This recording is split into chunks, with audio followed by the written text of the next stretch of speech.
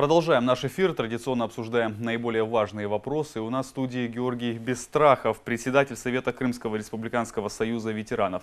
Здравствуйте, Георгий Дмитриевич. Итак, считанные дни Добрый остались день. до большого праздника, до Дня Победы. Какие мероприятия уже прошли, какие только планируются в преддверии этой даты? Э, всего э, из запланированных мероприятий, а их порядка более 100 э, мероприятий, основные мероприятия, которые были спланированы при подготовке и проведении торжественных мероприятий 9 мая, э, часть прошло. Это прежде всего практически завершено строительство в первой очереди мемориала в совхозе «Красный». Э, прошла презентация и э, работает электронная версия книги памяти, которая очень актуальна для крымчан была на протяжении последних лет. Э, проводятся э, всевозможные акции, как всероссийские, в которых участвуют э, ветераны, жители республики, так и республиканского, регионального уровня на местах. 2 мая прошло такое знаковое событие для ветеранов партизанского и подпольного движения в Крыму, как партизанская маевка на Ангарском перевале, где приняли участие делегации, кроме Симферополя, 11 городов и районов республики и города-героя Севастополя. А, ежедневно практически в каждом городе, в каждом районе идет интенсивное мероприятие с участием ветеранов, молодежи, жителей по, э, скажем так, освещению событий э, Великой Отечественной войне, вкладу, вкладу э, народа в освобождение нашей Родины. Приведены в порядок все захоронения советских воинов – идет, завершается реконструкция в парке, э, в Симферополе, в парке Гагарина, у могилы неизвестного солдата. И там же э, завершается создание аллеи героев Советского Союза, кавалеров орденов славы трех степеней, четырех медалей за отвагу, уроженцев Крыма. То есть вот такие основные знаковые мероприятия продолжаются и идут сегодня в республике. Георгий Ильич, ну вот вы сказали о том, что много проходит реконструкции непосредственно памятных мест, связанных с Великой Отечественной войной. Однако вот зачастую мы знаем, что уделяют внимание лишь тем, которые в, в центре внимания находятся, да, в каких-то крупных городах, поселках, а те, которые там где-то отдали, зачастую их не замечают. Вот как бы э, на сегодня какая ситуация с ними? Э, мы э, стараемся мониторить практически ежедневно ход выполнения мероприятий во всех регионах республики. Я скажу, начиная вот от Армянска, начиная с 8 апреля, когда уже началось освобождение Крыма от фашистских захватчиков, вот, мероприятия продолжаются и не ослабевают. Председатели наших ветеранских организаций, активисты всегда нас информируют, и я знаю, что ну, с удовольствием участвует молодежь, школьники, э, жители, администрации э, муниципальных образований, ветеранские организации во всех мероприятиях. Очень знаковые события идут в Керчи, вот в Симферополе проходит открытие мемориальных досок, э, проведение в школах, учебных заведениях выставок детских рисунков, выставок фотографий тех лет – Э, уроков мужества. Это очень, э, скажу, такая э, в этом году, как никогда, вот, интенсивность и плотность этих мероприятий возросла в разы. Вот есть такие села, поселки, где, в принципе, уже не то, что участников да, Великой Отечественной не осталось живых, но даже свидетелей той войны. Вот на сегодня в Крыму какое количество ветеранов проживает? Значит, здесь надо понимать ну, порядок цифр. Я начну, так вот будем говорить, с тех, кто непосредственно принимал участие в боевых действиях на фронтах Великой Отечественной войны с оружием в руках.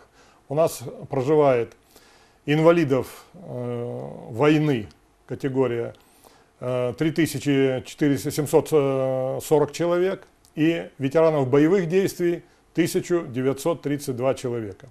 Всего же категории, тут такой нюанс есть, что по законодательству, которое было в предыдущем государстве, там более широкая категория была. Э, распространялась термин э, «ветеран войны».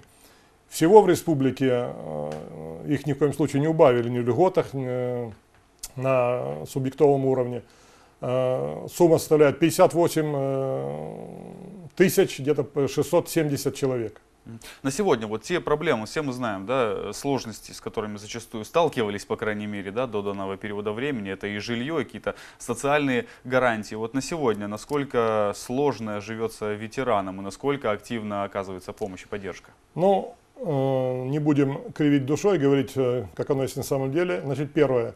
Надо всем понимать, что э, материальное положение ветеранов войны после возвращения на свою родину в Российскую Федерацию э, возросло гораздо.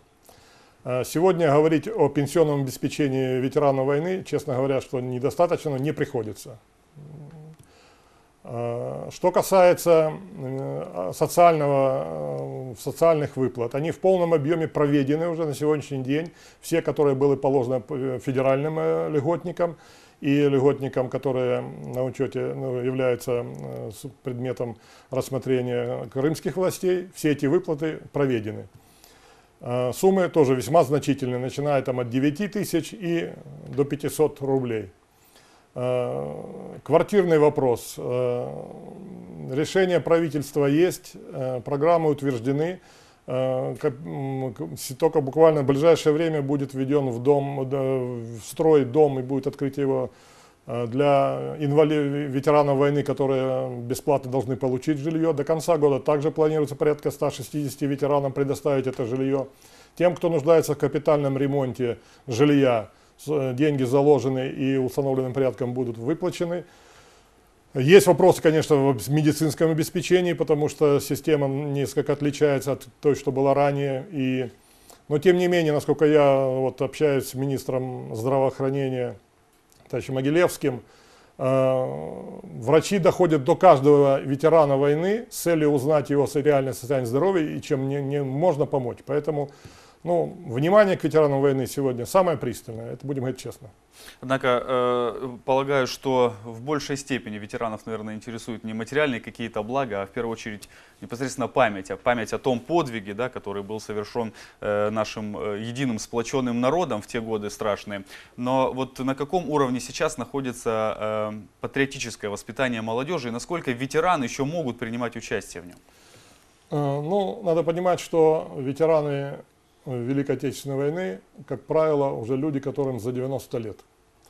Естественно, ну, есть э, у нас такие вот активисты, которые независимо, несмотря на свой возраст, продолжают принимать активное участие в воспитании молодежи. Это вот кавалер трех орденов славы Иван Павлович Клименко, генерал-майор в отставке. Это э, Виль Галямыч Бахтин, полковник. Э, это наш вожак партизанского движения Александра Федоровна Андреева, которая дома проводит уроки мужества, к ней школьники посещают и так далее. И масса других ветеранов по нашим регионам, не только в нашей столице, которые постоянные гости в школах, в учебных заведениях, и с удовольствием э, с ними общаются дети, учащиеся. И они рассказывают о, э, о том, как они защищали нашу Родину, какой ценой. Я думаю, это самая лучшая, ну, наглядная связь поколений, которая сегодня происходит. Вы сказали, вот упомянули книга памяти, да, проект, да. который стартовал. Вот э, что он собой представляет? Значит, э, на протяжении где-то пяти лет мы, э, Совет ветеранов республиканский, был инициатором создания этой такой версии, потому что в 1994 году вышел восьмитомник печатной книги памяти, в которой включено порядка 72 тысяч воинов, партизан, э, подпольщиков, которые погибли в Крыму. Э, тем не менее, обращения граждан происходили тогда со всех других государств. И мы были одним из тех немногих регионов, где не было такой версии книги памяти.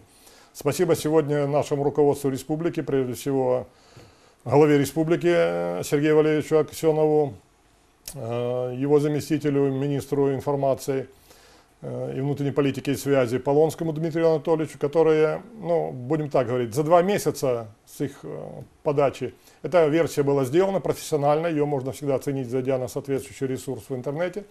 Вот. И она позволяет, э, самое главное, что вносить туда изменения, дополнения. Георгий Ильич, ну вам побольше таких проектов, успешной их реализации, вас с наступающим праздником. У нас на этом все, но мы не прощаемся. Оставайтесь с Первым Крымским.